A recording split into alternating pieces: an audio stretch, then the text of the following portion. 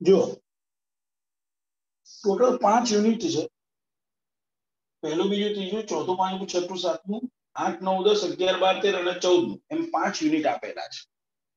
હવે સમજવાની વસ્તુ એ છે કે આપણી પેપર સ્કીમ જે છે, એની અંદર પચાસ તો એમસીક્યુ છે। તો આ બધા એમસીક્યુ છે આ, પાંચ ને ચાર, નવ ને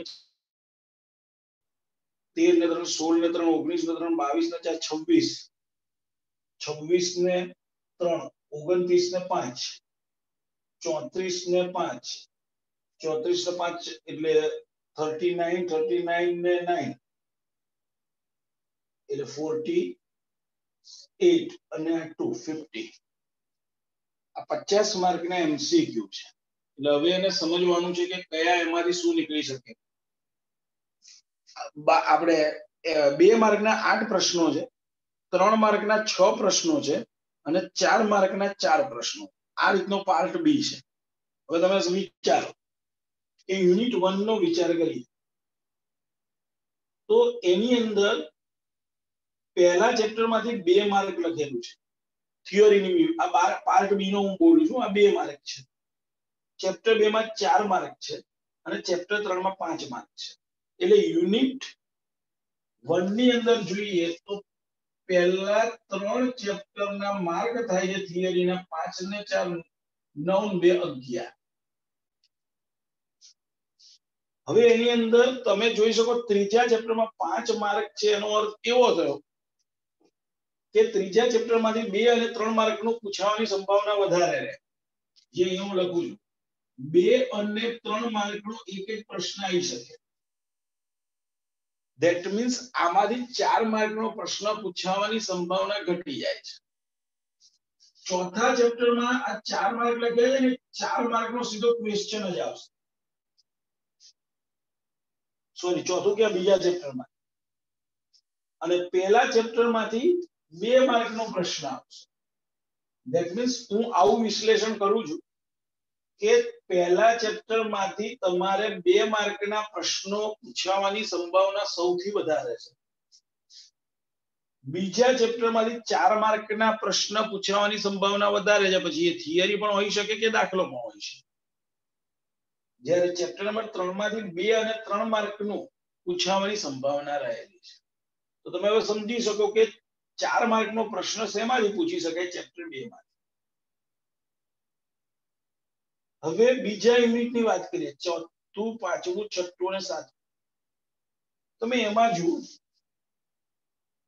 આપણે પાર્ટ બી નું જ વિશ્લેષણ કરીએ, કારણ કે એક માર્કનું વિશ્લેષણ આપણે કરવાની કોઈ જરૂર રહેતી નથી. તો આમાં જોઈ શકાય ચોથા ચેપ્ટરમાં પાંચ માર્ક છે. ભાઈ, પાંચ માર્ક છે, એનો અર્થ એવો થયો કે એ બે વત્તા ત્રણ હોય, થવાની સંભાવના વધારે ધેટ મીન્સ ચોથા ચેપ્ટરમાંથી ત્રીજા ચેપ્ટરની જેમ બે અને ત્રણ માર્કનો પ્રશ્ન એટલે એક દાખલો અને થિયરી પૂછાવાની સંભાવના વધારે. પાંચમા ચેપ્ટરમાંથી બે માર્ક છે અને એ લગભગ ફિક્સ છે. કે તમે જોઈ શકો છો કે ચોથા પાંચમા ચેપ્ટરની અંદર આપણે ભણ્યા ત્યારે પણ મેં સ્પષ્ટતા કરી હતી કે કોઈ ખાસ થિયરી છે નહીં. એટલે એની અંદર બે માર્કનો નાનો અમથો દાખલો પૂછી શકાય, અથવા બે માર્કની નાની અમથી થિયરી પૂછી શકાય. છઠ્ઠા ચેપ્ટરમાં તમે જોઈ શકો છો બે માર્કની થિયરી હશે. એટલે પાંચમા ને છઠ્ઠા ચેપ્ટરમાં ફાયદો શું? મોટા જે થિયરોટિકલ દાખલા છે, એને તમારે હવે એવોઇડ કરો તો ચાલે શેમાં? પાંચમા અને છઠ્ઠા ચેપ્ટરમાં જ્યારે સાતમા ચેપ્ટરમાં જો ચાર માર્ક છે. એટલે મને સાતમા ચેપ્ટરમાંથી ચાર માર્કનો પ્રશ્ન પૂછવાની સંભાવના સૌથી હાઈએસ્ટ સાતમા ચેપ્ટરમાંથી લાગે. એટલે જો ચાર માર્કનો પ્રશ્ન બીજા ચેપ્ટરમાંથી અને સાતમા ચેપ્ટરમાંથી પૂછવાની સંભાવના વધારે છે. એટલે લાંબા પ્રશ્નો તમારે શેમાં કરવાના? ખાસ બીજા અને સાતમા. પછી ત્રીજામાં છે બે અને ત્રણ લખેલું છે. એ જ રીતે ચોથામાં બે અને ત્રણ મેં લખ્યું છે. ધેટ મીન્સ કે એમાં દાખલાઓ તમારે મેક્સિમમ કરવાના ત્રણ માર્કના અને બે માર્કના ઓકે એટલે ચાર માર્કના પ્રશ્ન જો પહેલા બે યુનિટમાંથી જ આપણને મળી ગયા છે, બીજા ચેપ્ટરમાંથી એક, સાતમા ચેપ્ટરમાં. હવે આઠ, નવ દસમાં જુઓ. તો આઠ, નવ દસમાં તમને દેખાશે કે નવમું ચેપ્ટર જો કેટલું કામનું છે આપણા. એમાંથી સાત માર્ક છે. નવમા ચેપ્ટરમાં થિયરીના સાત માર્ક છે. સાત માર્ક છે એનો અર્થ એવો થયો એક ચાર માર્કનો પ્રશ્ન નવમા ચેપ્ટરમાંથી હશે અને એક ત્રણ mark. Four plus three that means નવમા ચેપ્ટરમાંથી ચાર માર્કનો પ્રશ્ન હોવાની સંભાવના વધી ગઈ. જુઓ, ચાર માર્કના પ્રશ્ન શેમાંથી છે? બીજું, સાતમું અને નવમું. હવે આઠમું ચેપ્ટર મેં તમને ચલાવ્યું ત્યારે સ્પષ્ટતા કરી કે ભાઈ આઠમા ચેપ્ટરમાંથી તમારે બહુ એ ખાસ કરવાનું નથી. જુઓ, બે આઠમા ચેપ્ટરમાં ટોટલ પાંચ માર્ક છે, એમાંથી ત્રણ માર્ક એમસીક્યુ છે. થિયરી વિભાગે માત્ર બે જ માર્ક છે. તમે સમજી શકો છો કે એના દાખલા જે છે એ બધા નાના નાના દાખલા હતા, બે માર્કમાં ગણી શકાય એવા હતા. એટલે એમાંથી દાખલો પૂછવાની સંભાવના સૌથી વધારે છે. ચેપ્ટર નંબર આઠમાં જેટલા દાખલા છે બધા દાખલા તમને ખબર છે કે બે માર્ક વાળા છે. એ પૂછવાની સંભાવના સૌથી વધારે છે. દસમું ચેપ્ટર જે છે, એને ત્યાંથી જો ત્રણ લખેલું છે ધેટ મીન્સ એમાંથી થિયરી પૂછાય કે દાખલો પૂછાય, એ ત્રણ માર્કનો પૂછાશે. એટલે એમાં નાના પ્રશ્નો કરવાના કે ચાર માર્કના પ્રશ્નો કરવાની જરૂર નથી. આ આપણું યુનિટ ત્રણ હતો. હવે યુનિટ ચાર જુઓ. જો બારમું ચેપ્ટર જે છે ને, ચાર માર્કનું આપ્યું છે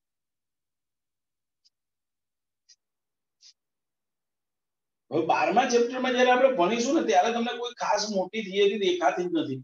એટલે આમાં છે ને બે વત્તા બે હોય છે.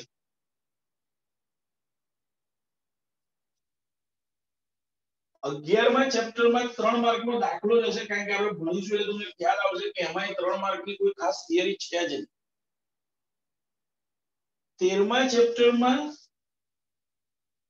બે માર્કની થિયરી ઘણી બધી છે. એટલે તેરમું ચેપ્ટરમાંથી થિયરી પૂછવાની સંભાવના વધારે. અને ચૌદમું ચેપ્ટર છે એ જો પાછું પાંચ માર્કનું છે. ધેટ મીન્સ અહીંયા ત્રણ વત્તા બે થઈ શકે.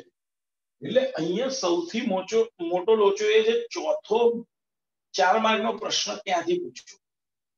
તમે જોઈ શકો છો કે આમાંથી એકમાં પૂછી શકે એમ નથી. ખાલી બારમા ચેપ્ટરમાંથી જો એ બે વત્તા બે ની જગ્યાએ ચાર માર્કનો પ્રશ્ન પૂછી લે, સીધે સીધો, તો શક્ય બને. પણ સામે એક ઓપ્શન પણ છે તમને. એટલે કે તમને ટોટલ પાંચ આ પૂછશે એમાંથી ચાર લખવાના છે.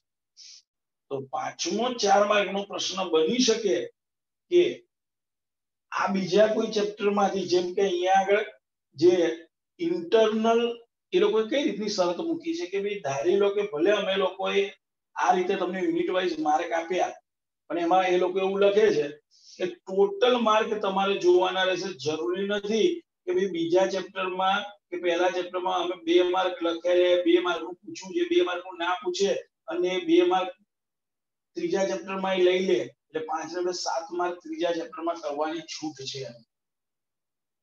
ટૂંકમાં મારી દ્રષ્ટિએ ચાર માર્ક માટે આપણે કયા ચેપ્ટરને ધ્યાનમાં રાખવું? તો જો પહેલું સોરી બીજું, ત્રીજું. હું ત્રીજા ચેપ્ટરને બે ચાર માર્ક માટે ધ્યાનમાં લેવાનું કહું છું તમને. કારણ કે એક એક્સ્ટ્રા પ્રશ્ન પૂછવાના છે. એટલે બીજું, ત્રીજું. પછી મારી દ્રષ્ટિએ ચાર માર્કમાં સાતમું. બે, ત્રણ, સાત, નવ, બાર. આટલા ચેપ્ટર જે છે એ તમારે ચાર માર્ક માટે ધ્યાનમાં રાખવાના રહેશે. આ અત્યારે મેં તમને સામાન્ય સ્થિતિ સમજાવી છે. પછી જેમ જેમ ચેપ્ટરો ચાલતા જશે એમ હું તમને સમજાવતો જઈશ કે આમાંથી કેમ ચાર માર્કનો ન પૂછાય અથવા તો આમાંથી કેમ બે માર્કનો ન પૂછાય એ હું દરેક ચેપ્ટર વાઇઝ વિશ્લેષણ તમને સમજાવતો જઈશ. પણ આ તો હજી બે દિવસ જ થયા જ આવ્યું છે એટલે મેં તમને આ સાદું રૂપે એનું સમજાવી દીધું કે એ લોકો શું કહેવા માંગે છે. આની પરથી એક વસ્તુ તમે સમજ્યા સમજી શકો એમ છો કે અમુક ચેપ્ટર પર તમે વધારે ભાર આપો, તો તમે સરળતાથી એસી માર્ક ફિઝિક્સમાં લાવવા હોય, તો હવે તમારા માટે સરળ બની ગયું છે. ફિઝિક્સમાં એટી માર્ક લાવવા તમારા માટે સરળ બની ગયું છે, કારણ કે પચાસ તો એમસી એટલે ફિફ્ટી માર્ક્સ તો તમારા એમસીક્યુ માંથી છે. હા એમસીક્યુ માં જેટલી પ્રેક્ટિસ એટલી તમને ફાયદો ક્યાં છે ખબર છે? કે એમસીક્યુ ની પ્રેક્ટિસ જે છે, એ તમને સૌથી હાઈએસ્ટ ફાયદો કરાવી જશે જે ડબલ નીટમાં એટલે જેટલી જે ડબલની તૈયારી હશે એટલા તમારા એમસીક્યુ પાવરફુલ થશે. અને જેટલા એમસીક્યુ પાવરફુલ એટલું આપણું આ સો માર્કમાંથી પચાસ માર્ક તો એ થઈ ગયા. અને થિયરીમાં ત્રીસ માર્ક લાવવા બહુ સરળ છે તમે જોઈ શકો છો ઓપ્શન ખાસા આપ્યા છે તમે જુઓ વિકલ્પ બે માર્કમાં ચાર તો કઈ એક્સ્ટ્રા આપેલા આઠની જગ્યાએ બાર પ્રશ્નો તમે પૂછવાના સર આના અંદર જી ડબલ લેવલ ના તો ના પૂછો ને એમસીક્યુ એવી વસ્તુ તો જે ડબલ લેવલના પ્રશ્નો જે છે ને એ લેવલ અત્યાર સુધી જે પૂછાતા હતા અને હવે જે પૂછાય છે, એની કમ્પેરિઝન કરવા જાવ તો હવે બધા લગભગ સરખા પૂછાય. જે ડબલઈ ના પ્રશ્નો કે નીટના પ્રશ્નો હવે અઘરા પૂછાતા નથી. હા જે ડબલઈ એડવાન્સ ના પૂછાય. હવે કેવું છે ઓલ ઇન્ડિયા લેવલે બધા એક્ઝામ આપે. એટલે આખી ઓલ ઇન્ડિયા લેવલને ધ્યાનમાં રાખવાના હોય છે. માટે પ્રશ્નો બહુ હવે અઘરા પૂછાતા નથી નીટ અને જે ડબલ એટલે પહેલા તો મગજમાંથી એ કાઢી નાખજો કે અઘરા પ્રશ્નો અઘરા પ્રશ્નો નથી હોતા. પ્રેક્ટિસ જેટલી વધારે હશે એટલો તમારા ફાયદામાં થશે એટલે તમારે બધાએ પ્રેક્ટિસ કરવાની છે એમસીક્યુ ની પ્રેક્ટિસ બહુ જરૂરી છે. ભલે એકને એક એમસીક્યુ રિપીટ કરો. એવું નહીં કે મારે આ એકવાર એક આ આટલા થઈ ગયા એટલે પતી ગયું તમે મેં અને દરેક પરીક્ષામાં હું જે પૂછતો હોઉં એ બધા એમસીક્યુ ની નોટ એના પ્રશ્નો અલગ લખેલા રાખો એવું નહીં પરીક્ષામાં આપી દીધું પતિ હું જે પ્રશ્નો લઉં છું ને તો એવા પ્રશ્નો લઉં છું કે જે લગભગ ગુજકેટ અથવા નીટ અથવા તો જે જે ડબલઈ અથવા બોર્ડની એક્ઝામમાં એમાંથી તમને જોવા મળશે મળશે મળશે જ. આ ચારમાંથી એક બે પરીક્ષામાં એ બધા એમસીક્યુ તમને આવી જશે. ધેટ મીન્સ તમારે તો આ જેટલી પણ હું એક્ઝામ લઉં એ બધા એક્ઝામના એમસીક્યુ જે છે, એ દરેકે દરેક લખેલા રાખજો અને રિપીટ કરજો. એવું નહીં કે એકવાર પતી ગયું એટલે પૂરું. અત્યાર સુધી જેટલી પણ એક્ઝામ લેવાય એ બધાના એમસીક્યુ તમારી જોડે લખેલા હોવા જોઈએ. કેમ કે આપણા મોબાઈલમાંથી તો ઉડી જશે, ધ્યાન રાખજો. મોબાઈલમાં તો ક્યારે ડિલીટ વાગી જશે ખબર નહીં પડે.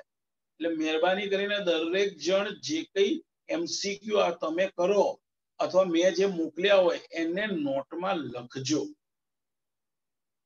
ઓકે? હવે બાકી છે ને હું ધીમે ધીમે એનું વિશ્લેષણ હજી કરી રહ્યા છે, બધા સાહેબો. કેમ કે હજી આ બે દિવસ થયા છે હું હજી આખું આને હજી મારી રીતે એકદમ સરસ રીતે વિચારી પછી તમને દરેક ચેપ્ટરમાંથી શું પૂછી શકાય એમ છે એ પણ લખાઈશ. કે ભાઈ આ ચેપ્ટરમાંથી હવે આ બે માર્કમાં તો બે માર્કમાં કયા પ્રશ્નો કરવા જોઈએ એ પણ સ્પષ્ટતા કરીશ. ત્રણ માર્કમાં કયા કરવા જોઈએ, ચાર માર્કમાં કયા કરવા જોઈએ, એ પણ હવે હું ધીમે ધીમે લખાઈશ. પણ એ લગભગ હજી મહિનો થશે આખું વિશ્લેષણ કરતા અમને. એ વખતે હું તમને બધી સ્પષ્ટતા કરી દઈશ. ઓકે, હવે આપણે નવમા ચેપ્ટર પર, એટલે કે આપણે અહીંયા પહોંચેલા છે. હવે આપણે આટલા ચેપ્ટર બાકી છે. ચલો નવમા ચેપ્ટરમાં મને ખ્યાલ છે ત્યાં સુધી આપણે પૂર્ણાંતિક પરાવર્તનની ઘટના આઈ થિંક પૂરી થઈ હતી બરોબર છે?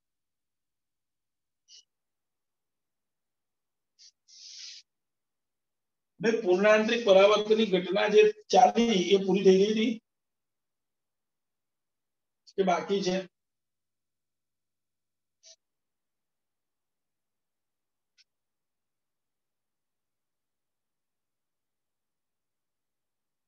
મને એવો ખ્યાલ છે ત્યાં સુધી મરીચિકાની ચર્ચા કરી હતી બે કાટકોણ પ્રિઝમ વાળી ચર્ચા કરી હતી પછી એક સમલમની ચર્ચા કરી હતી બોલે આપની ચર્ચા થઈ ગઈ હતી ભાઈ આઈ થિંક ઓપ્ટિકલ ફાઈબર આયા હતા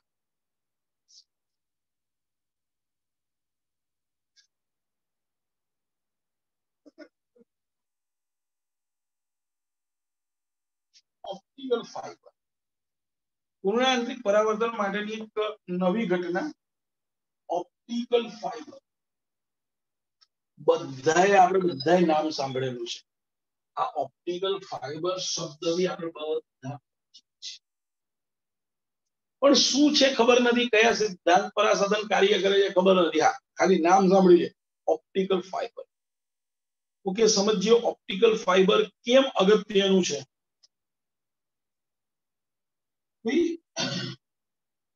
સામાન્ય રીતે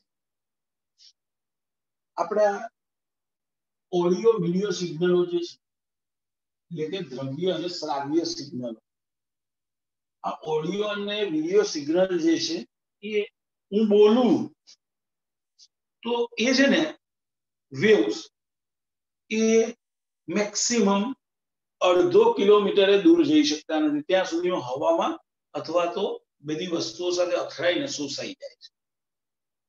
એટલે એ ધ્વનિના તરંગો દૂર દૂર સુધી હું ડાયરેક્ટલી તો નથી મોકલી શકવાનો. હું ગમે તેના મારા ઘરેથી બરાડા પાડું તો બહુ બહુ તો મારા આજુબાજુના ચાર પાંચ ઘર સુધી પહોંચી શકે. તમારા સુધી ના પહોંચી શકે.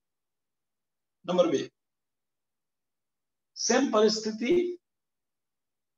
આપણે દ્રશ્ય પ્રકાશની કે તમે દૂરથી કોઈ વસ્તુને જોઈ શકો. ધારી લો કે હું અત્યારે બોર્ડ પર લખી રહ્યો હોઉં, તો જો કેમેરો ચાલુ ના હોય અને ધાબા પરથી લખતો તો તમે તમારા ઘરના ધાબેથી એને જોઈ નહીં શકો. કારણ કે એ દ્રશ્ય પ્રકાશના તરંગોને દૂર દૂર સુધી તમે સીધે સીધા મોકલી શકતા નથી. તો તેનો ઉપાય શું કર્યો આપણે? તો કે દ્રવ્ય અને શ્રાવ્ય જે તરંગો જે છે, એને વિદ્યુત સંકેતમાં ફેરવી આપણે શું કર્યું? એને વિદ્યુત સંકેતમાં ફેરવ્યું એટલે દ્રશ્ય અને શ્રાવ્ય એટલે કે આ વીડિયો અને ઓડિયો આ તરંગો સીધે સીધા ગતિ નથી કરી શકતા. એટલે આપણે એને વિદ્યુત સંકેતમાં રૂપાંતર સિમ્પલ ઉદાહરણ તમને આપું. નવરાત્રીની અંદર તમે જે કઈ જુઓ છો, આખી ઓડિયો સિસ્ટમમાં જો માઇક હોય માઇકની જોડે વાયર જોડેલો. એટલે હું જે બોલું એ માઇક જે છે, એ માઇક એને વિદ્યુત સંકેતમાં રૂપાંતરિત કરી નાખે છે. એક ઉર્જાનું બીજી ઉર્જામાં રૂપાંતર કરવું એને ટ્રાન્સડ્યુસર કહેવાય, એટલે આપણે ટ્રાન્સડ્યુસરનો ઉપયોગ કરીએ છીએ. અને એ વિદ્યુત સંકેત ત્યાંથી એમ્પ્લીફાયરમાં જાય છે. એમ્પ્લીફાયરમાંથી આગળ જાય અને સ્પીકરમાં જાય છે. સ્પીકર શું કરે છે? તો એ જે ઓડિયો સિગ્નલ જે વિદ્યુત સંકેતમાં આવેલા છે એને ફરી પાછા મૂળ જે શ્રાવ્ય સંકેતો જે છે, એમાં ફેરવી આપે છે. એટલે ત્યાં ફરીથી એક ટ્રાન્સડ્યુસર ટૂંકમાં તમારે એવું યાદ રાખવાનું છે કે આ વિદ્યુત સંકેતો જે છે, એ વાયર દ્વારા માઇકમાંથી વાયર દ્વારા એમ્પ્લીફાયરમાં એમ્પ્લીફાયરમાંથી એ સીધા જાય છે સ્પીકરમાં અને સ્પીકરમાં ગયા પછી એ પાછું આપણને અવાજ સંભળાય છે મૂળ સ્વરૂપે. ઓકે? આ ઘટના ની અંદર આપણે વિદ્યુત સંકેતોને એક જગ્યાથી બીજી જગ્યાએ સરળતાથી મોકલી શકીએ છીએ. કોના દ્વારા? વાયર દ્વારા. હવે એ જ્યારે મોકલીએ છીએ ત્યારે થાય છે શું? આજુબાજુ જે અન્ય તરંગો જે છે ને, એ એની અંદર ભળી જાય છે. એટલે ડિસ્ટર્બન્સ આવે. તમે એમ્પ્લીફાયર જોડતા હો ત્યારે તમને ખબર ઘણા બધા ચિત્ર વિચિત્ર અવાજો આવતા હોય. બરોબર? તો એ બધા અવાજો છે ને, એમાં રિયલમાં બહારના વિદ્યુત ચુંબકીય તરંગ એની અંદર ભળી જાય છે. એને કારણે થાય છે શું? એક તો દૂર સુધી મોકલી નથી શકાતું. નંબર બે, આપણા જે તરંગો, જે વિદ્યુત સંકેતો જે છે, એમાંથી થોડી ઘણી માહિતી ઇન્ક્રેપ્ટ થઈ જાય છે. એટલે કે માહિતી જે છે, એ અમુક ડિલીટ થઈ જાય છે. એટલે એ ભય રહેતો બીજું ટેલિફોનની અંદર પણ સેમ પરિસ્થિતિ. તમે બોલો વાયર દ્વારા એને દૂર દૂર સુધી બીજા સુધી પહોંચાડી શકે. પણ એમાં શું થતું હતું? લોકો વચ્ચેથી એ વિદ્યુત સંકેત ચોરી લે અને તમારી પર્સનલ માહિતી એ સાંભળી શકતા હતા. નંબર બે, એ ટેલિફોનની વાતચીત દૂર દૂર સુધી તો મોકલી નતા જ શકતા. પહેલા આજથી પચાસ વર્ષ પહેલાનો વિચાર કરો તો તમે બહુ બહુ તો ગુજરાતમાં અથવા તો આખા ઇન્ડિયાની અંદર ટેલિફોનિક વાતચીત કરી શકતા ફોરેન વાતચીત કરવી હોય, તો એ વખતે શક્ય નતું પચાસ વર્ષ પહેલાની વાત. એની જગ્યાએ ઓપ્ટિકલ ફાઇબર્સ નો ઉપયોગ થવાની શરૂઆત થઈ જો કેવો ફાયદો શું છે એ તમને સમજાવું છું. ઓપ્ટિકલ ફાઇબર કેમ અગત્યનું છે? હવે શું કર્યું? ઓપ્ટિકલ ફાઇબર એક એવું દ્રવ્ય છે કે જેની મદદથી આપણે પ્રકાશના ઝડપથી તરંગોને મોકલી શકીએ એટલે કે આ વિદ્યુત સંકેતને આપણે શેમાં ફેરવવા માટે પ્રકાશમાં. જે અત્યાર સુધી માત્ર વિદ્યુત સંકેતમાંથી એક જગ્યાએથી બીજી જગ્યાએ મોકલતા હતા, એની જગ્યાએ વિદ્યુત સંકેતને પાછું પ્રકાશમાં ફેરવીએ અને આ પ્રકાશ ઓપ્ટિકલ ફાઇબર મારફતે બીજે છેડે પહોંચે.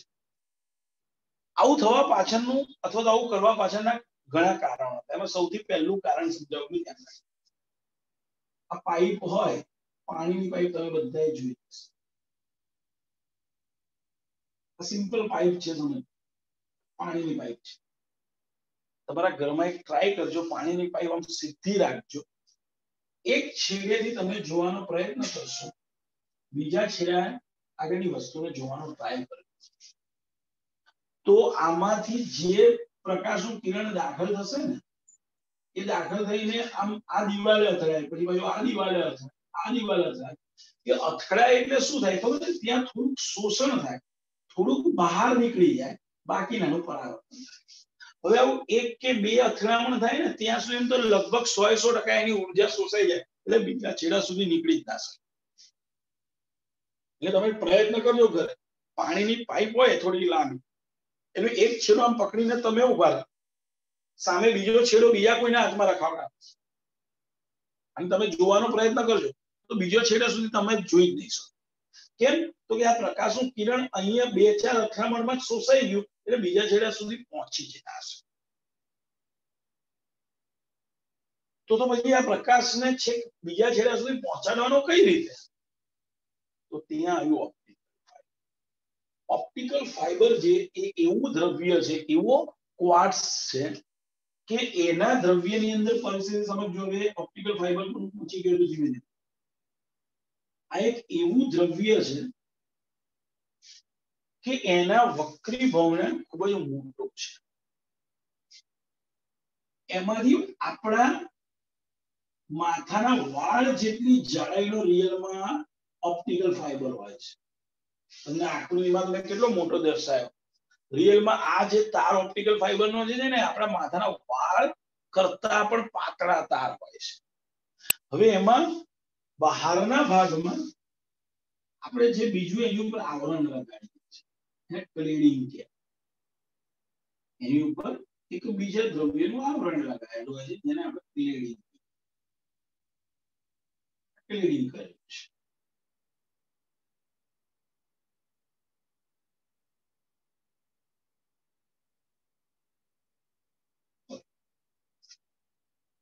આના વક્રીભવનાંક કરતા એટલે ઓપ્ટિકલ ફાઈબરના કોર વિસ્તાર, ગર્ભ વિસ્તારના વક્રીભવનાંક કરતા આ જે બહારની જે સપાટી જે મેં બતાવી, એના દ્રવ્યનો વક્રીભવનાંક ઓછો હોય છે. એટલે થાય છે જ્યારે પણ આની ઉપર કોઈ યોગ્ય આપાત ખૂણે પ્રકાશ આપાત કરવામાં આવે, આ સપાટીને દોરેલો લંબ છે આ આપાત કોણ થયો. હવે આ પ્રકાશનું કિરણ એ વક્રીભવન પામીને આગળ. એટલે હવાના માધ્યમમાંથી ઓપ્ટિકલ ફાઈબર દ્રવ્યના માધ્યમમાં દાખલ થાય. આ સપાટીને અથડાશે અહીંયા સપાટીને આપણે લંબ લંબ.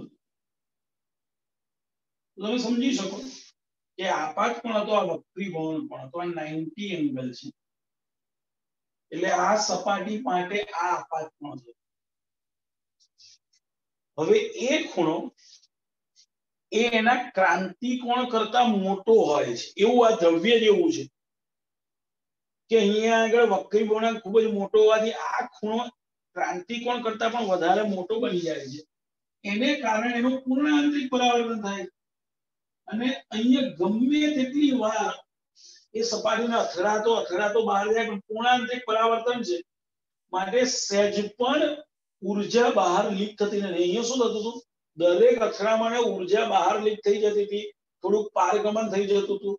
થોડુંક શોષાઈ જતું હતું. એટલે એક કે બે કે બહુ બહુ તો પાંચ કે સાત અથડામણમાં તો એની બધી ઊર્જા શોષાઈ. અહીંયા આગળ હજારો વાર અથડામણ થાય. એમ છતાંય સરળતાથી આ આપાત કિરણ એ બીજે છેડેથી એટલી જ તીવ્રતા સાથે બહાર બીજે છેડેથી એટલી જ તીવ્રતા સાથે બહાર નીકળે વિચાર કરો કે ઓપ્ટિકલ ફાઈબર્સ દરિયાની અંદર નાખી દીધેલા હોય એના બહાર. અને હવે હું અહીંથી જે કંઈ બોલું, એ વિદ્યુત સંકેતના પ્રકાશમાં રૂપાંતરિત કર્યું હવે એ પ્રકાશ ઓપ્ટિકલ ફાઈબર મારફતે એ દરિયા દ્વારા તમે જ્યાં જ્યાં ઓપ્ટિકલ ફાઈબર્સ પાથરેલા છે, એ બધી જગ્યાએ પહોંચે હવે આમાં તો પ્રકાશ છે. પ્રકાશ કેટલી ઝડપથી જાય? ત્રણ ગુણ્યા દસની આઠ મીટર પર સેકન્ડની ઝડપથી. દેટ મીન્સ આ ની અંદર ત્રણ ગુણ્યા દસની આઠ મીટર પર સેકન્ડ ઝડપથી આ પ્રકાશ એટલે કે આપણા જે કઈ સિગ્નલો મોકલીએ છીએ એટલી ઝડપથી બીજે છેડે સુધી પહોંચી જાય. માટે અત્યારે ઇન્ટરનેટ ખૂબ જ સ્પીડી ચાલી શકે છે. આજે ઇન્ટરનેટ તમે જે જુઓ છો ને જે ખૂબ જ આપણે સ્પીડમાં વાપરીએ છીએ, એની પાછળનું મુખ્ય કારણ ઓપ્ટિકલ ફાઈબર છે. ટૂંકમાં અત્યારે તો હાલ પૂરતું તમારા સિલેબસ પ્રમાણે તમે આને બહુ ડીપલી સમજી શકો એમ નથી.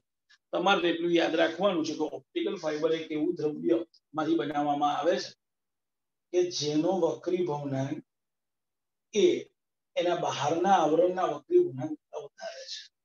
અહીંયા સંપૂર્ણ પૂર્ણાંતરિક પરાવર્તનની ઘટના થતી હોવાથી પ્રકાશનું કોઈ બી કિરણ એમાં આપાત થાય યોગ્ય ખૂણે તો એ હજારો વાર, તમે વિચારો કેટલો પાતળો તાર મેં કીધો તમને. આપણા માથાના વાળ જેટલો પાતળો તાર છે. એટલે તમે સમજી શકો છો કે આટલો પાતળો તાર હોય, એમાંથી પ્રકાશ દાખલ થાય, તો તો આ તાર એકદમ પાતળો જેવું વિચારી લો. તો કેટલી બધી વાર અથડાતો અથડાતો અથડાતો અથડાતો આગળ જશે.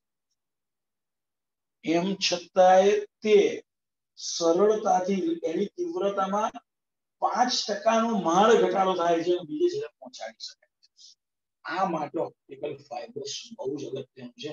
આજે જે કઈ આપણે ઇન્ટરનેટની સ્પીડ જોઈએ છે, એનો મહત્વનો રોલ ઓપ્ટિકલ ફાઈબર અને માટે ઓપ્ટિકલ ફાઈબર એ ખૂબ જ અગત્યનું છે. નંબર બે બીજો એનો ઉપયોગ બતાવો.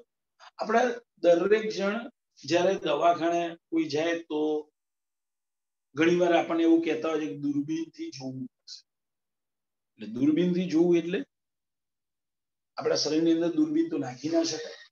તો કઈ રીતે જો તો રિયલમાં આપણા શરીરની અંદર ઓપ્ટિકલ ફાઈબર મેં હમણાં જ કીધું, એકદમ પાતળો તાર છે. એને નસ મારફતે આપણા શરીરની અંદર દાખલ કરવામાં આવે અને આપણા શરીરનો જે ભાગ ચેક કરવાનો હોય, ત્યાં સુધી એની અંદર એ ઓપ્ટિકલ ફાઈબર ત્યાં સુધી પહોંચાડી અને બહારથી કોમ્પ્યુટરથી પ્રકાશીય વિદ્યુત ચુંબકીય તરંગો દાખલ કરવામાં આવે. ત્યાંથી અથડાઈને પાછા એ જ નળી મારફત એ તરંગો પાછા આવે કોમ્પ્યુટરમાં અને ત્યારબાદ કોમ્પ્યુટર એ વસ્તુને સમજી શકે કે આપણા શરીરની અંદરના ભાગમાં, જઠરના ભાગમાં શું થયેલું છે. તો એ આ ઓપ્ટિકલ ફાઈબર દૂરબીન દ્વારા એને જોઈ શકાય. તો એ જે દૂરબીન કહીએ છીએ બીજું કશું જ નથી. એ ઓપ્ટિકલ ફાઈબરની બનેલી નળી છે. જે આપણા શરીરની અંદર નસમાંથી દાખલ કરવામાં આવે છે. આ ઓપ્ટિકલ ફાઈબરનો ફાયદો છે. તમે બહાર રોડ ઉપર અત્યારે ખાસ કરીને થર્ટી ફર્સ્ટ ગઈકાલે ગઈ, તમે જોઈ શકો છો ઘણી વાર તમે જો રોડ ઉપર જતા હો, તો તમને બહાર પેલા લોકો જે વેચતા હોય ને, બધી વસ્તુઓ ચાર રસ્તા ઉપર, ત્યાં તમે જોઈ હશે કે એકદમ પાતળી પારદર્શક પાઇપ હોય. અને એ પાઇપમાં આવા અનેક ઓપ્ટિકલ ફાઈબર્સના વાયરો આમ બહાર કાઢેલા હોય. આ બધા પાતળી પાઇપની અંદરથી બહાર નીકળેલા અને બધા પારદર્શક અને પછી નીચે એ લોકોએ બેટરી અને બલ્બ આપેલો હોય નાનો અમથો એ જેવું તમે ઓન કરો, એટલે અહીંયા પ્રકાશિત ટપકા તમને આમ બલ્બ જેવું લાગે, આમ જેના પ્રકાશિત ટપકા અહીંયા રચાયેલા આપણને નવી લાગે કે આ શું છે? આવું ફર્સ્ટ ક્લાસ એકદમ પારદર્શક કાચ જેવું હોય અને એકદમ જ તમને દરેકના છેડે આવા પ્રકાશિત ટપકા જોવા એ પણ બીજું કંઈ જ નથી. ઓપ્ટિકલ ફાઈબર્સમાંથી આ પ્રકાશ પસાર કરી અને અહીંયા આગળ, ત્યાં આગળ જે બલ્બનો પ્રકાશ જે છે, એ છેક છેડા સુધી પહોંચાડી શકાય છે. એ જે રચના તમે જુઓ છો, એ પણ ઓપ્ટિકલ ફાઈબર્સ ટૂંકમાં ઓપ્ટિકલ ફાઈબર્સ નો ઉપયોગ ક્યાં થઈ શકે? નંબર એક. ભાઈ ઓપ્ટિકલ ફાઈબર્સ જે છે એ વિદ્યુત સંકેતને પ્રકાશ સંકેતમાં રૂપાંતરિત કરીને એક છેડેથી બીજા છેડા સુધી મોકલવા માટે કરીએ છીએ એની અંદર પૂર્ણાંતરિક પરાવર્તનની ઘટનાઓને કારણે એ ગમે તેટલી નળી લાંબી હશે એમ છતાં એનું ખૂબ જ ઓછા પ્રમાણમાં શોષણ થઈ અને બીજે છેડેથી બહાર મોકલી શકાય છે. આ ઓપ્ટિકલ ફાઇબર્સ નો ફાયદો છે. પ્રકાશીય સ્વરૂપે પ્રકાશીય સંકેત સ્વરૂપે જે કઈ માહિતી આવી હોય એ માહિતીને મોકલવા અને રિસીવ કરવા માટે એનો ઉપયોગ થાય છે. ઓપ્ટિકલ ફાઇબર્સ નો ઉપયોગ દૂરબીન તરીકે શરીરની અવયવ રચનાઓનો અભ્યાસ કરવામાં પણ તેનો ઉપયોગ કરવામાં આવે છે. આમ પૂર્ણાંતરિક પરાવર્તનનો ઉપયોગ ઓપ્ટિકલ ફાઇબર્સ દ્વારા આપણે કરી શકીએ છીએ. આ સાથે પૂર્ણાંતરિક પરાવર્તન પૂરું. ક્લિયર ભાઈ, આમાં કશું સમ એટલે થિયરી જેવું કશું હતું નહીં, ખાલી સમજવાનું હતું. એટલે મેં તમને ઓપ્ટિકલ ફાઇબર શું છે આખું સમજાવી દીધું. ક્લિયર એમ છતાં એકવાર ચોકડીમાં વાંચો અને પછી મને ના ખબર પડે પૂછજો કે ભાઈ ઓપ્ટિકલ ફાઇબરમાં સાહેબ અહીંયા આવી ના ખબર આ સાથે ચેપ્ટર નો થર્ડ પોર્શન પૂરો. મેં તમને એવું કીધું આ ચેપ્ટરમાં ટોટલ છ ભાગ છે. એમાંથી આ ત્રીજો ભાગ કમ હવે આપણે ચર્ચા આવી ગોળીય વક્રીભવન કારક સપાટ. ગોળીય વક્રીભવન કારક સપાટની ચર્ચા.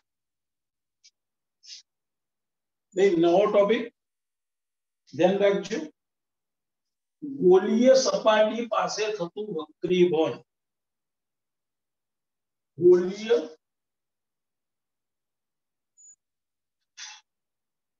સપાટી પાસે થતું વક્રીભવન અત્યાર સુધી આપણે વક્રીભવનની ઘટનાના અભ્યાસની શરૂઆત કરી, એમાં જો અત્યાર સુધી આપણે સમતલ સપાટી આમ જોઈ આપણે એમ જ કીધેલું કે બીજા બે અલગ પાટી સપાટી. અને એ સપાટી હું આ રીતે દોરતો હતો, સમતલ. પણ જો સપાટી આવી વક્ર હોય તો શું?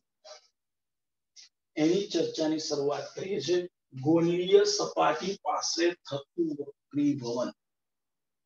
સમજજો અહીંથી જે થિયરી ચાલુ થાય છે, એ બધી આઈએમપી થિયરીઓ છે.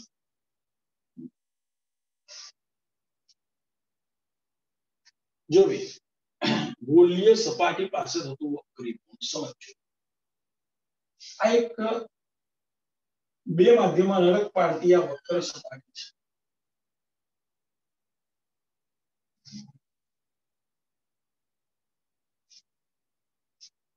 આ એક પાતળું માધ્યમ છે અથવા અન્ય કોઈ બી માધ્યમ છે, આ એક ઘટ માધ્યમ છે, એટલે કે બીજું માધ્યમ છે. બે માધ્યમ છે, પારદર્શક માધ્યમ છે. આ વક્ર સપાટી છે ધેટ મીન્સ તમે એવું વિચારી શકો કે કાલ્પનિક ગોળાનો ભાગ છે. કાલ્પનિક ગોળાનો ભાગ હશે એને કંઈક પોતાનું કેન્દ્ર હશે, કલ્પના કરી શકો આમ ગોળો જેમ વિચારી લો તો એનું કંઈક કેન્દ્ર છે. ધારી લો કે આ કેન્દ્ર અહીંયા છે. તો એનું વક્રતા કેન્દ્ર સી છે. આપણે વક્રતા કેન્દ્ર શબ્દથી શરૂઆતમાં પરિચિત થઈ ગયા છે. વક્ર અરીસા માટે એવું કહેતા વક્ર અરીસો જે કાલ્પનિક ગોળાનો ભાગ હોય તેના કેન્દ્રને આપણે વક્રતા કેન્દ્ર એ જ રીતે આ ગોળીય સપાટી જે કાલ્પનિક ગોળાનો ભાગ હશે એના કેન્દ્રને આપણે વક્રતા કેન્દ્ર સી કીધેલું છે. આ એનું ઓપ્ટિકલ કેન્દ્ર છે જેને આપણે ધ્રુવ કહીએ છીએ. ધ્રુવ અને વક્રતા કેન્દ્રમાંથી પસાર થતી આ રેખાને મુખ્ય અક્ષ કહીએ છીએ. ધ્રુવ અને વક્રતા કેન્દ્ર વચ્ચેના અંતરને વક્રતા ત્રિજ્યા કહીએ છીએ. બધી જ વસ્તુ મને તમને ખબર છે. એ તમને મેં યાદ કરાવી. ઓકે. હવે ધારી લો અહીંયા કોઈક મેં એનવલ માધ્યમ છે વક્રીભવનાંક. અને આનો વક્રીભવનાંક એન છે. સમજો અહીંયા કોઈ બિંદુવત વસ્તુ મેં તમને કીધું છે કે ભાઈ જ્યારે પણ આપણે પરાવર્તન વક્રીભવન કોઈ બી પ્રકાશીય ઘટનાઓના સમજવાનો પ્રયત્ન કરીએ ત્યારે ઓછામાં ઓછા બે કિરણ બતાવવા હવે જ્યારે બિંદુવત વસ્તુ હોય એમાંથી એક કિરણ મુખ્ય અક્ષ સાથે અમુક અંશને ખૂણે બતાવવાનું તો જો મેં મુખ્ય અક્ષ સાથે અમુક અંશને ખૂણે બતાવું છું આ એક આ બિંદુ આગળ આપાત થયો, આ બિંદુને આપણે આપાત બિંદુ એમ. હવે ત્યાં આગળ પેલા તો લંબ દોરી તો હવે પાછો પ્રશ્ન છે, લંબ કઈ રીતે દોરવાનો? તો મેં તમને વક્ર અરીસા માટે સ્પષ્ટતા કરી. કે આ અરીસાનો અથવા વક્ર ભાગનું કોઈ પણ બિંદુ અને વક્રતા કેન્દ્રને જોડતી રેખા હંમેશા લંબ કહેવાય. તો જો આને જોડી દો. એમ અને તો આ લંબ થઈ ગયું ઓકે, આ લંબ ને આગળની બાજુ લંબાઈ જોઈએ એટલે આપણે સ્પષ્ટતા કરી શકીએ લંબ. તો આપાત કિરણ અને આ લંબ વચ્ચેનો આ ખૂણો આપાત છે. આ આપાત હવે આ પ્રકાશનું કિરણ પાતળા માધ્યમમાંથી ઘટ માધ્યમમાં દાખલ થયું. ભાઈ, આપણને ખબર છે પાતળામાંથી ઘટ માધ્યમમાં જાય તો એ લંબ તરફ વળે. તો આ પ્રકાશનું કિરણ જો રિયલમાં જવાનું હતું આમ જો પ્રકાશનું કિરણ છે ને આમ જો આ વક્ર સપાટી માધ્યમથી ના આવી ગયો પણ હવે તો લંબ તરફ વળે એટલે જો એની દિશા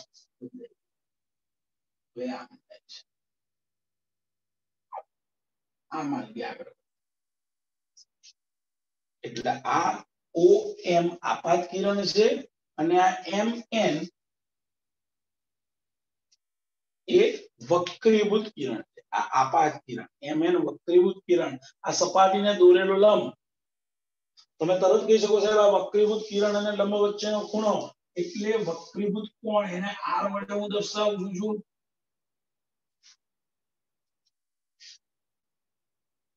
બોલો, આટલે સુધી ક્લિયર છો? આટલી આકૃતિમાં ભાઈ બધાને ખબર પડી છે, ફરી બોલું છું આપાત કિરણ છે. નંબર બે, આ સપાટીને દોરેલો લંબ છે. આ એમ એન વક્રીભૂત કિરણ છે. આપાત કિરણ અને લંબ વચ્ચેનો ખૂણો આપાત કોણ છે? વક્રીભૂત કિરણ અને લંબ વચ્ચેનો ખૂણો વક્રીભૂત કોણ છે? બોલો ભાઈ આટલે સુધીમાં કોઈને પ્રોબ્લેમ સમજવામાં સર ફરીથી સમજાઈ દે જો આ બિંદુવત વસ્તુઓ છે. ઓમાંથી નીકળેલું આ એક પ્રકાશનું કિરણ. તમે જોઈ શકો છો કે ઓ એમ મેં બતાવેલું છે. હવે આ જે બે માધ્યમ અલગ પાડતી આ જે વક્ર સપાટી જે છે ગોલીય સપાટી, એ ત્યાં આગળ એમ બિંદુ પર આપાત એટલે આપણે ત્યાં શું દોર્યું? લંબ.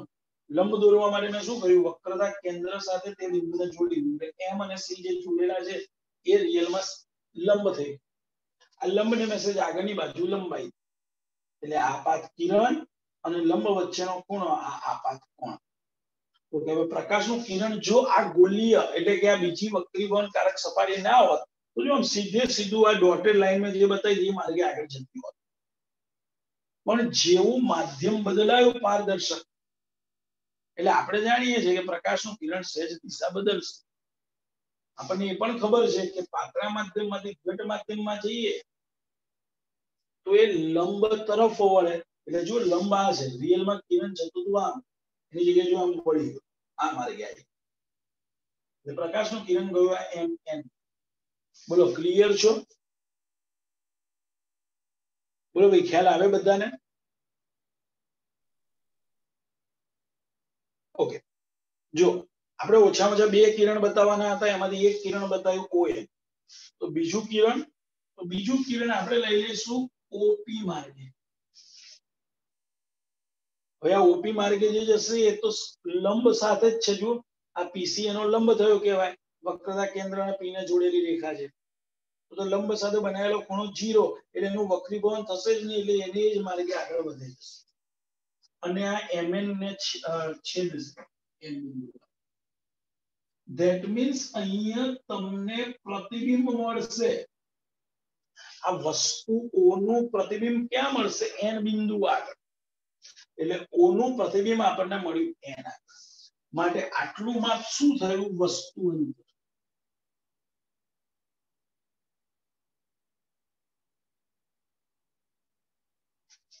અને આટલું માપ શું થયું તો કે પ્રતિબિંબ અંતર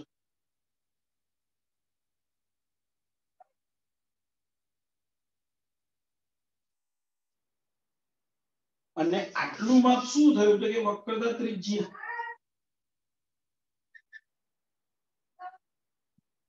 બોલો ક્લિયર છો ભાઈ બોલો ભાઈ એમાં ખબર પડી જાય બધાને હવે જો આપાત કિરણ આ દિશામાં જાય આ દિશાના માપ જે છે પ્લસ એની વિરુદ્ધ દિશાના માપ માઇનસ તો મને કહો તો યુ પ્લસ કે માઇનસ આપણે માપવાના ક્યાંથી? પી થી. ધ્રુવથી બોલો યુ પ્લસ આવશે કે માઇનસ આવશે?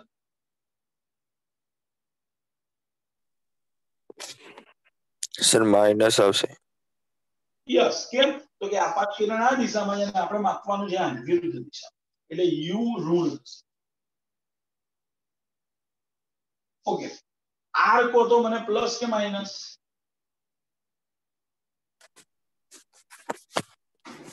પ્લસ યસ પ્લસ કેમ? તો કે આપાત કિરણની દિશામાં માપે આપણે પીધી થી આમ માપવાનું છે. આપાત કિરણ આમ દિશા છે.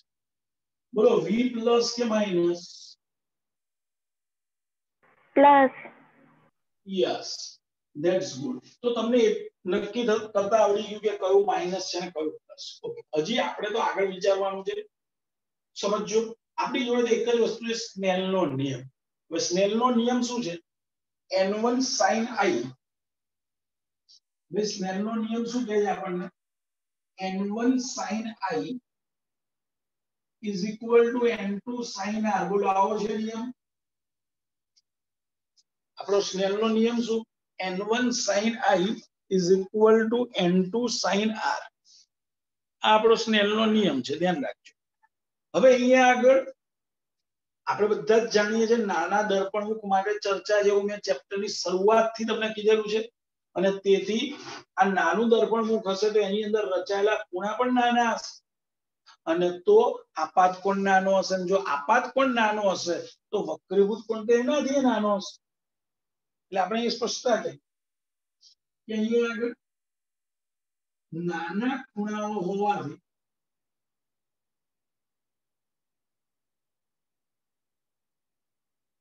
સાઈન આઈ ની જગ્યાએ હું એપ્રોક્સિમેટલી આઈ લખી દઉં છું. અને સાઈન આરની જગ્યાએ એપ્રોક્સિમેટલી આર લખી દઉં છું.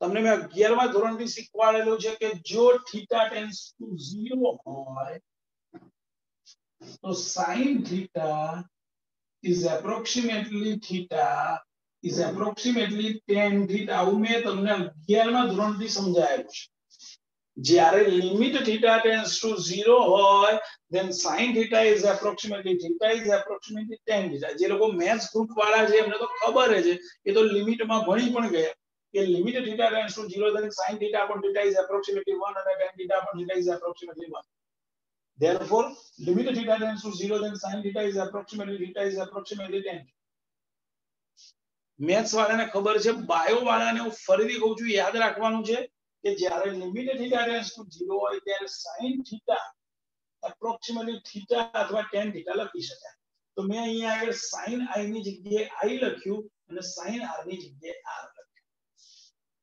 લખ્યું ધેટ મીન્સ સૂત્ર શું થયું n1i is equal to n2r બોલો આટલે સુધી clear n1i is equal to n2r okay હવે આ mp જે તમને દેખાય છે ને એમને ખૂબ જ નાનું દર્પણમાં હોવાથી લગભગ આપણે વક્ર mp ની જગ્યાએ mn રેખાખંડ લઈ લઈશું ગણતરી કરવા. તો ધ્યાનથી પહેલા મને એમ કહો, આ માપ ખૂણો i બરોબર તમે શું કહી શકો? આ માપ ખૂણો i બરોબર શું કહી શકો? તો જો હું તમને જરા નવમા, દસમા ધોરણનું મેથ્સ યાદ કરાવું છું, જેથી તમને ખ્યાલ આવે. તમે જો ત્રિકોણ ઓ એમ સી દેખાય છે? તમને ત્રિકોણ ઓએમસી દેખાય છે બધાને? જો નવમા ધોરણનું મેથ્સ યાદ કરાવ્યું ધ્યાન રાખજો. ત્રિકોણ ઓએમસી દેખાય એવી તમને? આ ઓ એમ સી ઓકે એના આ બે ખૂણા થયા. એક છે માપ ખૂણો એમ ઓ સી એટલે કે માપ ખૂણો એમઓપી પણ તમે કહી શકો. અને બીજો છે માપ ખૂણો એમસી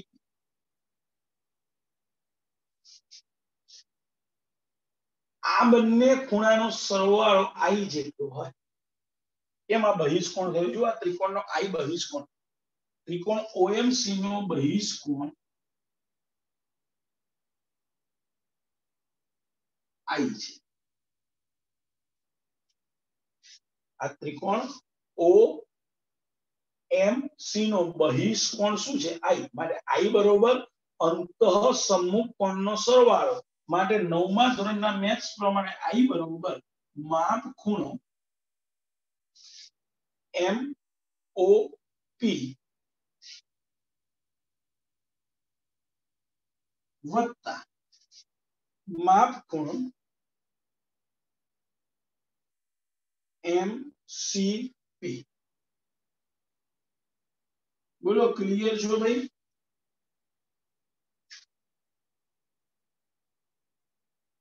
બોલો ભાઈ ખબર પડી છે બહિષ્કોણ ઇઝ ઇક્વલ ટુ આ બંને ખૂણાનો સરવાળો. યાદ આવે છે, નવમા ધોરણના મેથ્સમાં તમે ભણતા તો હું હતો ત્યારે મારે નવમા ધોરણમાં ભણવામાં આવતું અમારા પ્રમેય હતો કે ભાઈ બહિષ્કોણનું માપ એ અંતઃસમુખ કોણના માપોના સરવાળા બરોબર હોય. એટલે મેં અહીંયા બતાવી દીધું, બહિષ્કોણ એ અંતઃસમુખ કોણના માપોના સરવાળા બરોબર છે. પણ આપણે તો પહેલા જ વાત કરી, નાના દર્પણ મુખની ચર્ચા છે. માટે બધા જ ખૂણા અતિ સૂક્ષ્મ હશે થીટા ટેન્સ ટુ 0 એનો અર્થ એવો થયો કે ખૂણો બરોબર તમે tan થીટા પણ લખી શકો. તો આ માપ ખૂણો MOP ની જગ્યાએ તમે એનો ટેન્જન્ટ લો, તો ટેન્જન્ટ શું થાય? સામે ભાગ્યા પાસે. તો માપ ખૂણો MOP બરોબર? એ માપ ખૂણો MOP જે છે એનો ટેન્જન્ટ શું થશે? ટેન એને આલ્ફા કોણ? એટલે તમને ખબર પડે. એટલે આ માપ એમઓપી MOP ધારી લો કે આલ્ફા છે અને આ ધારી લો કે બીટા છે. તો આલ્ફા વત્તા બીટા થયા. હવે હું તમને એમ કહું છું કે alpha is approximately 10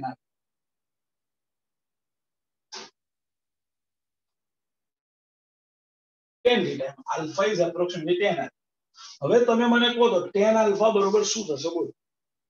કોણ કહેશે tan alpha બરોબર શું થશે? mp by op. Yes mp by op.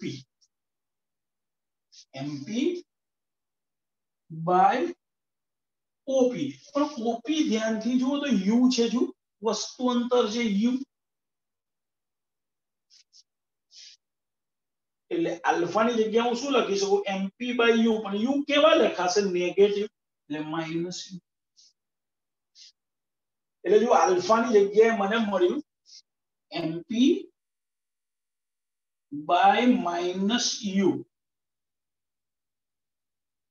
ચલો પ્લસ બીટા ચલો beta tan by is plus v approximately 10 beta શું કીધું મૈત્રી તે બીટા માટે mp by plus v. V ની r. Yes mp by r. Mp by r. કેમ?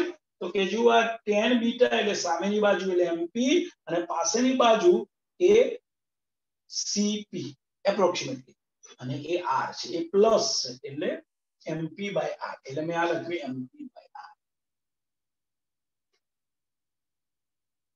બોલો, આ આઈ ની કિંમત મળી મને જુઓ. I is equal to MP by minus Q plus MP by R આને હું કહું છું સમીકરણ એક. બોલો, આટલે સુધી ક્લિયર છો ભાઈ?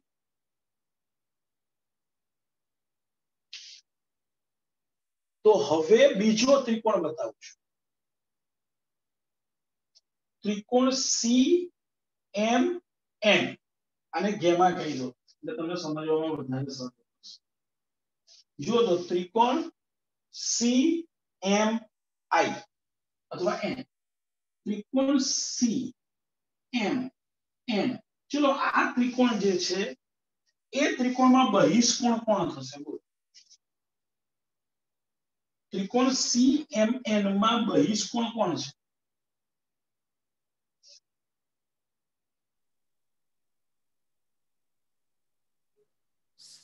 બોલો કોણ થશે? સી ના ત્યાંથી નીકળશે. સી એમ એનમાં બહિષ્કોણ એટલે બહારના ભાગમાં ખૂણો જો બીટા છે જો. બહિષ્કોણ કોણ છે? બીટા. પહેલા તો તમને એ ખબર છે બહિષ્કોણ કોને કહેવાય? બહિષ્કોણ એટલે ત્રિકોણની કોઈ પણ બાજુ સાથે બહારના ભાગમાં બનાવેલો ખૂણો, તો ત્રિકોણની આ એક બાજુ થઈ એની સીએમ અને બહારના ભાગમાં બનાવેલો ખૂણો બીટા છે. તમને થશે સાહેબ આ બાજુ છે ને, આ છે, પણ એને જો અહીંયા આગળ કોઈ આપણે નામ નથી આપ્યું. આ બાજુ એ છે, તો અહીંયા બહારના ભાગમાં કોઈ નામ નહીં આવે જરા એક જ નામ આપેલું છે. એટલે આપણે એને બીટા કહી દીધો, એનો બનીશું બીજા લખી શકે, પણ નામ આપેલા નથી, એટલે નથી. એટલે ત્રિકોણ CMN માં બહારના ભાગમાં બનેલો ખૂણો બીટા છે, જે બહિષ્કોણ છે. હવે હમણાં જ મેં કીધેલું કે ભાઈ બહિષ્કોણ બરોબર અંતઃ સમ્મુખ કોણનો સરવાળો તો બોલો, આ બીટા બરોબર શું લખી શકો તમે?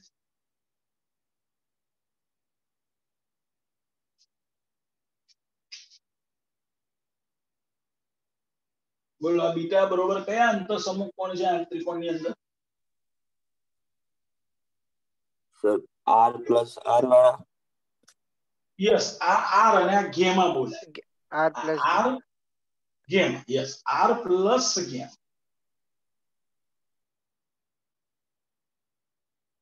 હવે આપણે તો સ્નેલના નિયમમાં આર જોઈએ છે એટલે આર ને કરતા બનાવ. તો આર બરોબર શું થયું? બીટા માઇનસ ગેમા બોલો કેવાય એવું? Beta minus gamma okay. હવે બીટા, તો જો મારી જોડે જગ્યા નથી એટલે અહીંયા ઉપર લખું છું, તમને દેખાશે. બીટા is approximately 10 બીટા ચલો, તો મને કહો અહીંયા 10 બીટા શું થશે? હમણાં જ આપણે લખેલું, અહીંયા આગળ જ લખેલું જો એમપી બાય આર લખેલું જ છે. જે લખી નાખું ને એમપી બાય આર એ આપણે લખેલું જ છે એટલે ડાયરેક્ટ લખી દઉં છું. એમપી બાય ચલો ટેન બીટા લખેલું જ હતું, એટલે ની ચર્ચા નથી કરતો ગેમા તમે ગેમા લખીએ છો આ બાકી છે. ચલો ગેમા ઇઝ એપ્રોક્સિમેટલી 10 ગેમા ચલો 10 ગેમા શું થશે? તમે 10 ગેમા બરોબર શું થશે? બોલો 10 ગેમા બરોબર? આખો એમસી ફરીથી ફરીથી. આખો ત્રિકોણ આમ થાય ભેગા આપણે આ- આ આ ત્રિકોણ સાથે લેવાનો ગેમા ગેમામાં આખો આમ ખૂણો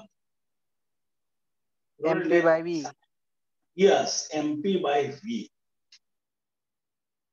MP by V એ પ્લસ છે એટલે પ્લસ જ રાખ્યું એટલે જોઈએ પ્લસ એમપી બાય બોલો ક્લિયર છો આ? બોલો આ આઈ અને આરની કિંમત આ સમીકરણ બે થઈ બોલો એ સમીકરણ એક અને સમીકરણ બે ખબર પડી છે બધાને? બોલો ભાઈ સમીકરણ એક અને બે ખ્યાલ આવ્યો છે? હા સર ઓકે હવે આ કિંમત બોલો, હવે અહીંયા મૂકી દેવાય. N1 i બરોબર n2 r છે જો તો i ની કિંમત અને r ની કિંમત આમાં મૂકી દેજો. બધામાં mp કોમન છે. એટલે તો નહીં લખીએ તો ચાલે, બંને બાજુ ઉડી ગયા. તો શું લખીએ જો i ની જગ્યાએ આ લખીએ n1 into bracket. Mp upon minus u. Mp upon minus u. Plus MP upon R જો આ લખી નાખો આઈ સમીકરણ એક is equal to M two into R ચલો આર શું છે? MP by capital R plus MP by V બોલો ક્લિયર છો ભાઈ? બધામાં જો શું કોમન છે એમ એમપી કોમન દેખાય છે બધા એમપી ગયા તો આનું સાદું રૂપ શું થશે જુઓ n1 upon minus u plus n1 upon r is equal to n2 upon r plus n2 upon v બોલો ભાઈ ક્લિયર છો? મને એનું સાદું ખ્યાલ આવે દરેકને.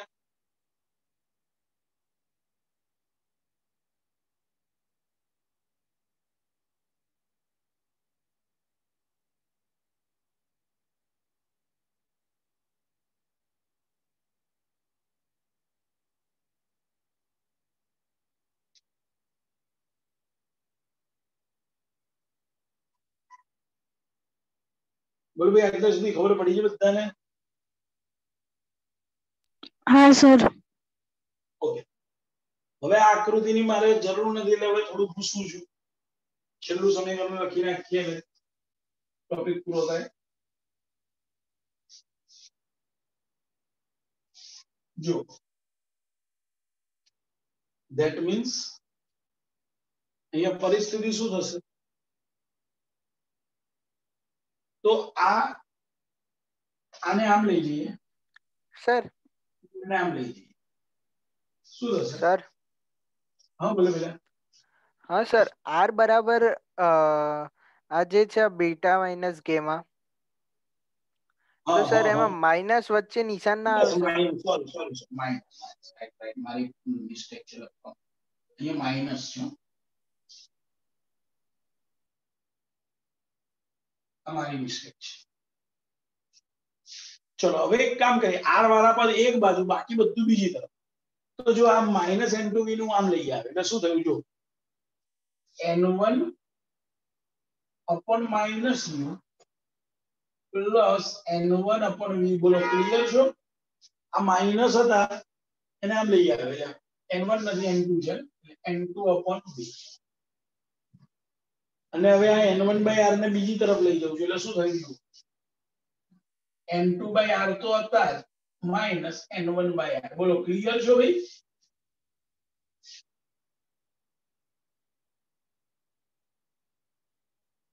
ખ્યાલ આવ્યો છે?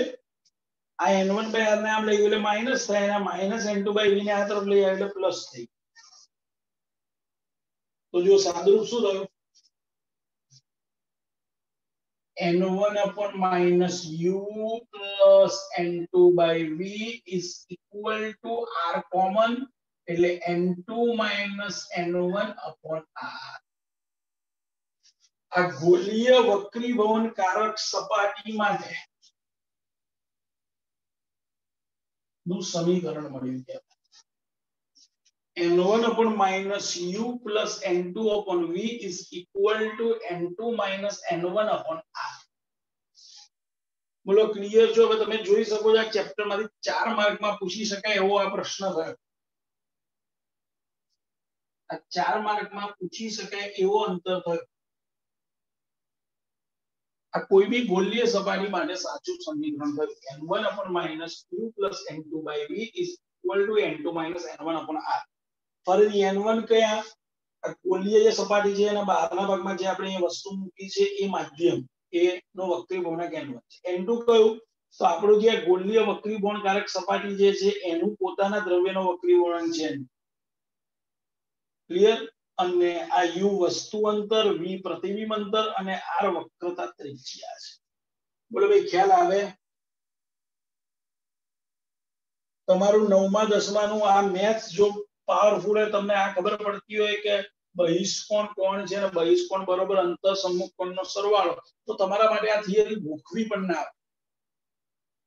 આકૃતિ ખાલી એક વાર તમે દોરો પછી જાતે લખી શકો એમ છો. બોલો ભાઈ ખબર પડે છે.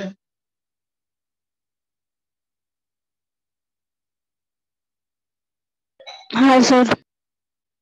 ઓકે. આજે આટલું રાખીએ છે ક્લિયર નેક્સ્ટ લેક્ચરમાં મળીએ. થોડું હજી લખવામાં થોડું દુખે છે એટલે થોડું ધીમું ધીમું લખાય છે મારાથી. શું થયું છે તમને સ્લીપ થઈ ગયો બેન ડાફોડિયા મારતો હતો. હજી એમને આખો હાથ તોડાવવાનો છે ધ્રુવી. હે? સાચે? આખો તોડાવવાનો છે. હું કઉ છું એમ બે લખ લખ કરે છે એટલે. હા તો ધ્રુવીની જેમ પ્રયત્ન કરી જોયો કે ડાફોડિયા મારી ચલાવીએ તો શું થાય હો સર કઈ એ બી? ધ્રુવી એવી જ છે સર. હા, એટલે તો મેં કીધું. પણ મારો કોઈ દિવસ એક્સિડન્ટ નહીં થયો. પણ મારે તો પહેલી વાર હતું ને